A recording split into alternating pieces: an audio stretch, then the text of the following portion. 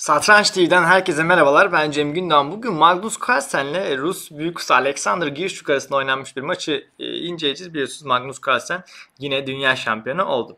Evet at F3 hamlesiyle başlamış Magnus Carlsen. Siyahlardan at F6 hamlesi G3, G6, B3. Evet Magnus'un B3 tercihin amacı ne? Fil B2 gelip bu çaprazda siyahların G7'deki filini karşılamak. Mantıklı. Fil G7, fil B2. D6. Şimdi E5 ya da C5 sürecek. D4 sürüşü E5'i kontrol etmek için kısa rok ve fil G2. Evet iki fili de uzun diagonallere geliştirdi. Magnus Carlsen en sevdiğim açışlardan biri. Filler bu uzun diagonallerde çok keyif alıyorum. Çünkü e, rakip atların e, hani saldırısına uzak oluyor. Yani buradaki filleri kolay kolay siyahlar alamaz e, atlarla. Bu sebeple buralara çıkmayı daha çok seviyorum. Kısa rok.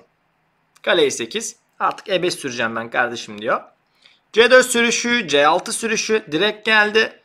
At C3 ve artık siyahların e, bu açışta yapması gereken temel hamle olan E5 sürüşü gelmiş oldu. Merkezdeki mücadelede bu sertlikte başladı. Evet siyah e, beyazlar D5 sürerek onu konunu kapatma yoluna gitmiş. Bazı oyuncular D çarpı E5 de tercih ediyor. Mesela D alır E5. Şimdi buradaki at D2'den E4'e gidebilir. Buradaki fil de A3'e gidebilir. Amaç ne? D6'daki kareyi kullanabiliriz. Bu aklımızda bulunsun.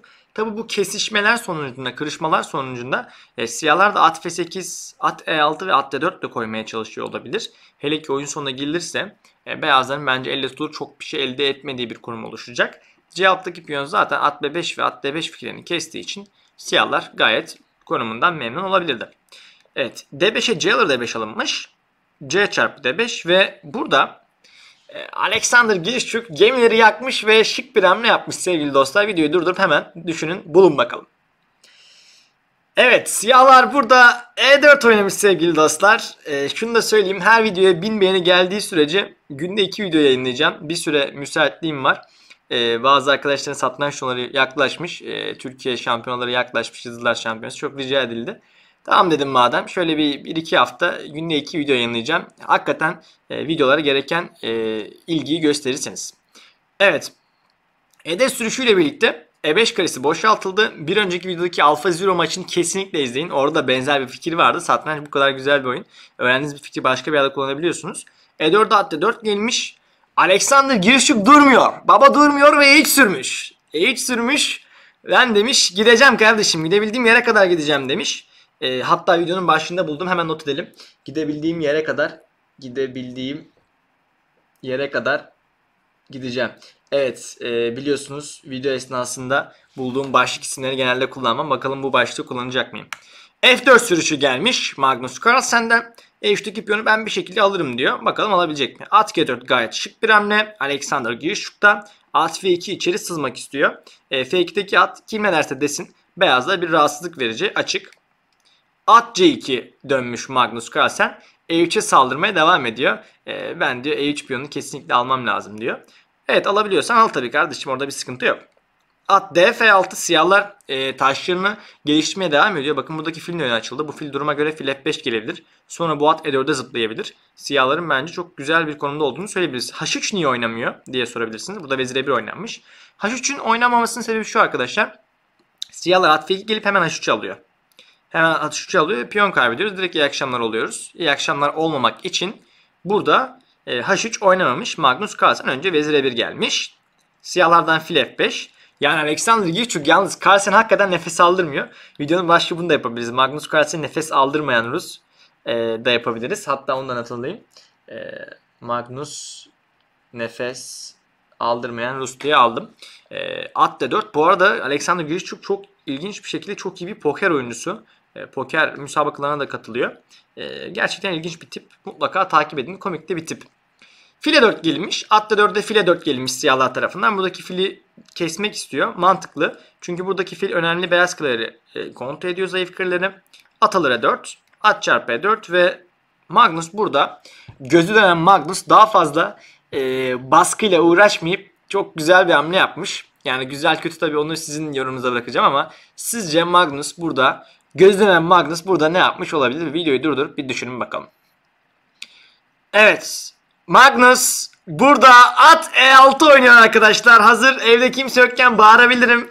İnanılmaz bir hamle. Magnus ne yapmaya çalışıyorsun? Ee, eğer burada B2'yi alırsanız vezir boşta alamıyorsunuz sevgili dostlar. F çarpı E6 almak zorundasınız. Magnus bunu kabul etmiş zaten. Fil çarpı G'yi de direkt almış. Şimdi şah G'yi de alırsanız arkadaşlar burada file 4 alacak Magnus. Keyfine bakacak. Tabi girişçük buna izin vermemek adına at diye 2 gelmiş. Hakikaten kale boğuldu. Ee, F1'deki kaleyi boğan Rus diye de başlık koyabiliriz. Bu maç için bir sürü başlık türedi hakikaten. Ee, bakın arkadaşlar ben yani çok fazla maç inceledim. Bu kadar atların e, bir tarafı bu kadar baskıya uğrattığını gördüm. Çok nadir maçlardan biri. Ki zaten chessgames.com'da günün maçı seçilmiş bu maç. Ee, buradaki kale sıkıştı. Fil bir 2 geri dönmüş Magnus. Ben demiş tamam kaliteyi feda ettim ama en azından demiş buradaki siyah kaleleri kontrol ediyorum. Elimde 3-5 bir şey var. Fil çifti var demiş. Tamam demiş. Girişçük at F1 almış. Vezir F1 ve girişçükten burada bence stratejik olarak çok güzel bir hamle daha. Ee, belki burada bir şey feda etmiyoruz ama bakalım bu fikri kim bulacak? Videoyu durdurup lütfen düşünün. 21. hamlede Alexander Girişçük burada ne oynamış olabilir? Evet sevgili dostlar, genç arkadaşlar, e, evine yeni gelenler, işinden dönenler burada siyahlar E5 oynamış ve diyor ki ben diyor buradaki fili diyor önünü diyor kapatıyorum diyor. Amaç ne? E, artık bu fil oyunda olmayacak diyor. E tamam kardeşim bu filin önünü kapalı. E senin çift file iyi akşamlar o zaman ben diyor. Çift file iyi akşamlar çeken Rus. Ulan çok güzel başlıklar ya. İşte arkadaşlar e, çift file iyi akşamlar. Ee, başlıklar nasıl türüyor nasıl türüyor diyorsunuz. İşte bir şekilde maç esnasında eğer hissederseniz konumu o başlıklar akla geliyor. Vezir F3 H5 ata saldırmıştı H5'te. Korudu siyahlar H3 e, Magnus atı kovuyor. Ve siyahlardan E4 hamlesi. Keşke bunu da sorsaydım. E, bu hamle çok iyi bir hamle. Artık veziri sıkıştırıyor hani siyahlar. E, veziri sen oyuna gelemezsin diyor. Mecbur vezir F1 dönmek zorunda. Bakın artık piyonlar da illa, illa hani gazap üretiyor beyaza. At H6. O at F5'e gidecek. Sonra yine çok fazla e, bak yakacak burada. Şah H2. Kale C8. Kale C1. Kaleleri kesmeye çalışıyor Magnus ama zaten e, hani bu kale yeterince başarılı olacaktır. Tek kale kalsa bile. At F5 gayet mantıklı. Vezir E1. Vezir E7. Ve burada kale C4 oynamış Magnus Carlsen. Yani E4 piyonu nasıl sağlar? E4'ü korumanın hiçbir yolu olmadığı için e, Girişçük kale çarpı C4 alıp hemen kale C8 gelmiş. Dediğim gibi tek kale de burada Girişçük için yeterli. Vezir C3 arkaya sızmak istiyor. Şah H7 Girişçük'ten çok sakin ve güzel bir hamle. Bu kalenin H8'i e, savunması çok önemli. Girişçük aslında bunu sağlamış oldu. A4 hamle bulamayan Magnus diye de başlık koyabilirim ya abi efsane ya. Hamle bulamayan Magnus burada A4 sürüyor. B6 Şimdi C5 de kont etti Girişçük. A5 de kont ediyor. Fil A1 bekliyor Magnus. Siyahlardan A6 hamlesi.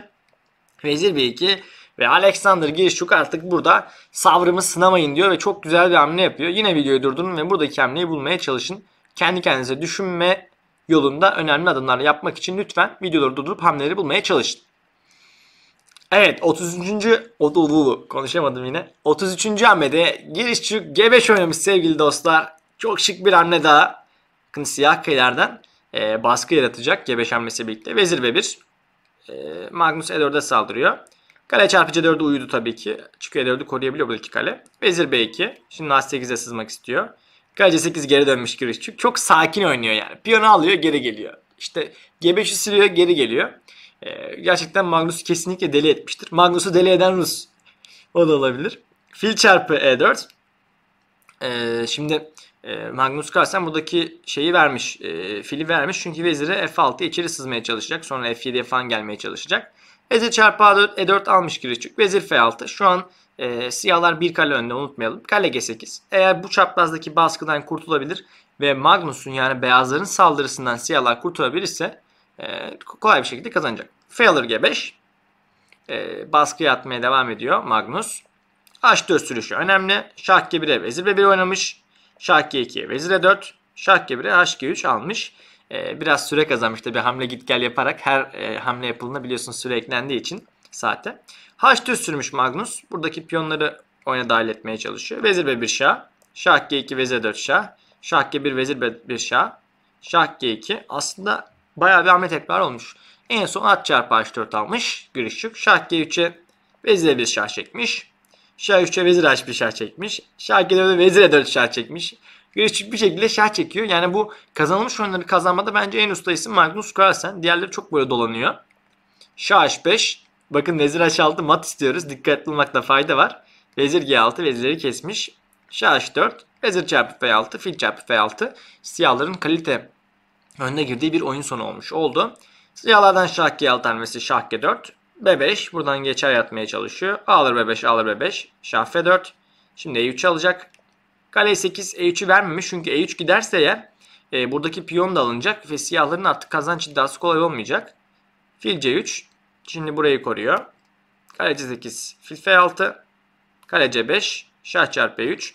Belki burada şah e, E4 oynayabilirdi ama ona da piyon sürülüyor. O yüzden piyonları azaltmaya gitmiş Magnus Carlsen. Mantıklı. Oyun sonunda piyonları azaltmanız lazım eğer kalite gelirseniz. Kale D1.